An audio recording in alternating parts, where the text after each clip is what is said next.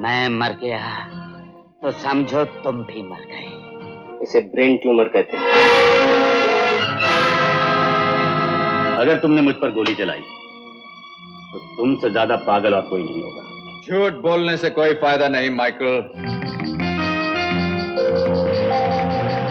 सत्तर के दशक के शुरुआती सालों में सफलता क्या मिली? राइटर सलीम जावेद अपनी लिखी कहानियों को मोटे दामों में बेचने लगे। और लगे हाथों अमिताभ की सिफारिश कर उन पर भी एहसान जता देते थे। ऐसे में जो निर्माता सलीम जावेद की जोड़ी पर भरोसा करते थे, तुरंत अमिताभ के नाम पर सहमत हो जाते थे। और ऐसे निर्माता थे प्रेम जी, जिनके निर्माण तले 6 दिसंबर उन्नीस सौ चौहत्तर को drama murder mystery, suspense, thrill से भरी फ़िल्म रिलीज़ हुई थी मजबूर, जिसका निर्देशन किया था रवि टंडन ने और मेन कास्ट में अमिताभ के अलावा नज़र आई थी प्रवीण बाबी, प्राण, सत्यन कप्पू इफ्तिकार, रहमान मैक मोहन सुलोचना लाटकर व फरीदा जलाल के अलावा कई और छोटे बड़े सितारे नज़र आए थे। देख सकता मैं कुछ भी होते हुए। लक्ष्मीकांत प्यारेलाल के संगीत तले गीत लिखे थे आनंद बख्शी ने जिनके लिखे चार गीत रखे गए थे फ़िल्म में। आदमी जो कहता है आदमी जो सुनता है ज़िंदगी भर सभी गीतों को अपनी मधुर आवाज़ से सजाया था मोहम्मद रफी। किशोर कुमार लता मंगेशकर व आशा भोसले ने।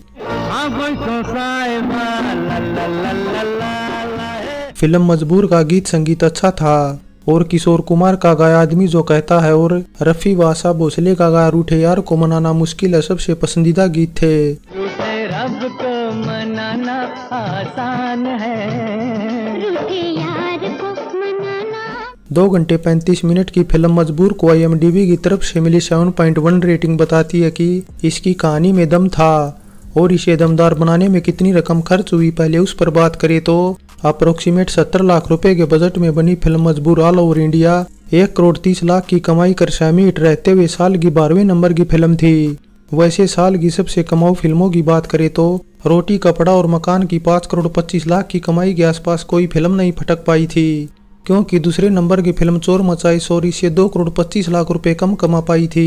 अरे होगी कोई साले की मजबूरी। हमको इससे क्या करना माइकल? हमको तो अपने साढ़े सात लाख से मतलब है। ओरिजिनली फ़िल्म मजबूर उन्नीस सौ सत्तर में आई एक नहीं बल्कि दो फ़िल्मों से इंस्पायर्ड थी जिसमें एक थी अमेरिकन फ़िल्म जिग जैग और दूसरी थी Italian French film cold sweat क्योंकि फ़िल्म की कहानी जहाँ जिग जैग से इंस्पायर्ड थी तो क्लाइमैक्स कोल्ड स्वेट से इंस्पायर्ड था। जिसमें ओपल कार से लेकर लोकेशन व डायलॉग भी सिमिलर थे। वैसे इस तरह की कहानियों को मिक्स करने में राइटर सलीम जावेद को महारत हासिल थी। इसीलिए उनकी लिखी कहानियों की डिमांड थी और फ़िल्में बड़ी हिट हो जाया करती थी।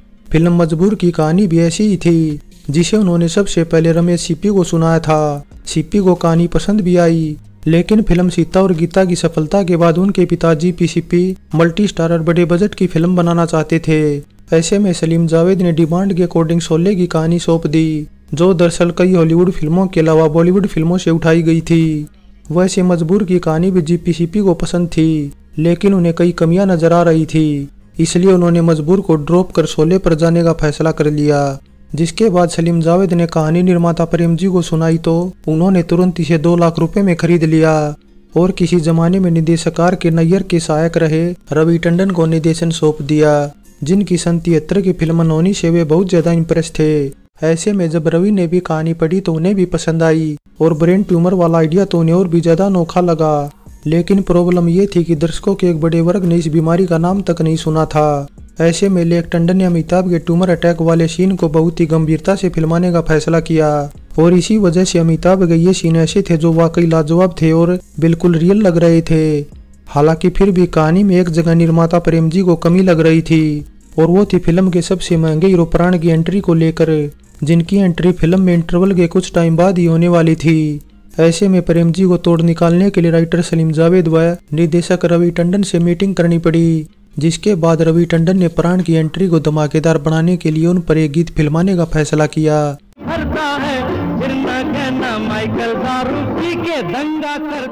हालाँकि प्राण पर फिल्मा इस गीत के बनने का किस्सा भी रोचक है। क्योंकि संगीतकार लक्ष्मीकांत ने कार में बैठे बैठे ही घर से स्टूडियो तक के सफ़र में, यानी बांद्रा से जू तक के कुछ ही मिनटों के सफ़र में इसकी धुन को तैयार कर लिया था।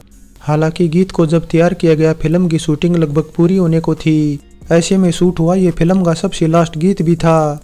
वैसे प्राण से जुड़ी एक बात यह भी है कि अक्सर वे अपने किरदार व लुक के साथ एक्सपेरिमेंट करते थे। इसलिए फ़िल्म मजबूर के माइकल के किरदार के साथ भी उन्होंने ऐसा ही किया, क्योंकि इस बार उन्होंने खुद को थोड़ा काला दिखाया था। वैसे फ़िल्म मजबूर प्राण व अमिताभ की साथ में दूसरी फ़िल्म थी। पहली सन तिहत्तर में आई जंजीर थी और जंजीर होया मजबूर। दोनों में उनका एक आपस में ज़बरदस्त फाइट सीन रखा गया था। इसके अलावा मजबूर ऐसी फ़िल्म भी थी जिसमें प्राण ने निर्देशक रवि टंडन की नकल भी उतारी थी, क्योंकि दरअसल रवि किसी सीन को फ्रेम में देखने के लिए ऐसे ही दोनों हाथों से दूरबीन बनाते थे।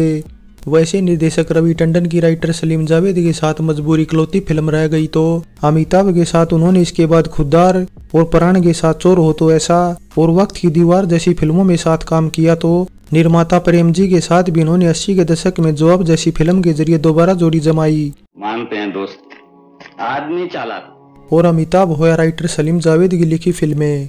साउथ फिल्मकारों द्वारा उनका रीमेक बनाने का चलन भी फ़िल्म दीवार व सोलह के बाद सत्तर के दशक में ही शुरू हो गया था। और सन छिहत्तर में फ़िल्म मजबूर का सबसे पहले तेलुगु में रीमेक बनाया गया तो उन्नीस सौ उनासी में तमिल में, उन्नीस सौ बयासी में गुजराती में और उन्नीस सौ छियासी में मलयालम में भी बनाया गया था। वैसे बॉलीवुड में भी 2008 में मिथुन चक्रवर्ती के बड़े बेटे मिमो की जिम्मी भी काफ़ी हद तक फ़िल्म मजबूर से इंस्पायर्ड लगती है। और रही बात टाइटल की तो मजबूर टाइटल से सबसे पहले उन्नीस सौ अड़तालीस में पहली फ़िल्म बनी थी तो उन्नीस में भी एक फ़िल्म रिलीज़ हुई थी, जिसके बाद सुनील शेट्टी की 2002 की फ़िल्म मसीहा का ओरिजिनल टाइटल भी पहले मजबूरी रखा गया था। लेकिन फ़िल्म के एक दूसरे अभिनेता इंद्र कुमार की चोट के चलते शूटिंग डिले हो गई और बाद में इसका टाइटल बदल दिया गया। अब मेरा यहाँ से उठना मुश्किल है। साले ने तीन गोलियाँ मारी है मेरे पेट में।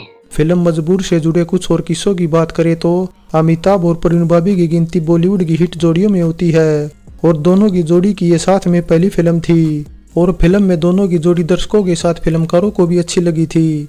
इसीलिए इसके बाद तकरीबन दर्जन भर फ़िल्मों में दोनों साथ नज़र आए। वैसे फ़िल्म मजबूर प्रवीण बाबी की पहली ऐसी फ़िल्म भी थी, जिसमें उनके काम को भी नोटिस किया गया था। इसके अलावा फ़िल्म मजबूर में अशोक कुमार व किशोर कुमार के भाई अनूप कुमार भी नज़र आए थे।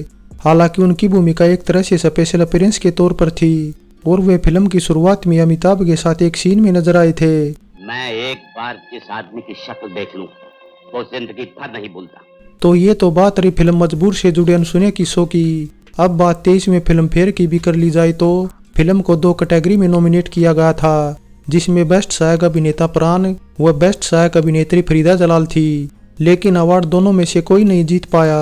वैसे दोनों की भूमिकाएँ ज़बरदस्त थी। फरीदा जलाल जहाँ फ़िल्म में हैंडीकैप्ट की भूमिका में अमिताभ की बहन बनी नज़र आई थी तो प्राण फ़िल्म के क्लाइमैक्स में अमिताभ बच्चन पर भी भारी थे। क्या बकवास करते हो? कौन हो तुम? फाइनली फ़िल्म मजबूर का पहले हाफ़ की बजाय दूसरा हाफ़ दर्शकों को बेहद पसंद आया था क्योंकि दूसरे हाफ़ में प्राण की एंट्री जो हो गई थी। ऐसे में और ज़्यादा सस्पेंस के चलते दर्शक सीट से और ज़्यादा चिपक गए थे। हालाँकि फिर भी फ़िल्म बॉक्स ऑफ़िस पर औसत रही। लेकिन बावजूद इसके इसकी तारीफ़ करने वाले आज भी कम नहीं। फ़िल्म का गीत संगीत तो अच्छा था ही, साथ ही फोटोग्राफी भी अच्छी थी, क्योंकि इसके बाद उन्नीस सौ अठहत्तर की फ़िल्म डॉन में इफ्तिकार अमिताभ को अमिताभ का जो फ़ोटो दिखाते हैं, वो दरअसल मजबूर फ़िल्म के दौरान ही लिया गया था। बस इसीलिए ऐसी कुछ और खूबियों के चलते फ़िल्म मजबूर की गिनती क्लासिकल सस्पेंस, थ्रिलर फ़िल्मों के तौर पर होती है। ओल्ड इज़ गोल्ड में फ़िल्म मजबूर पर हमारी ये पेशकश कैसी लगी, नीचे कमेंट कर बताएँ। अच्छी लगी है तो लाइक और शेयर करने के साथ चैनल सब्सक्राइब करें। तो चलते हैं, फिर मिलेंगे एक और नई वीडियो के साथ।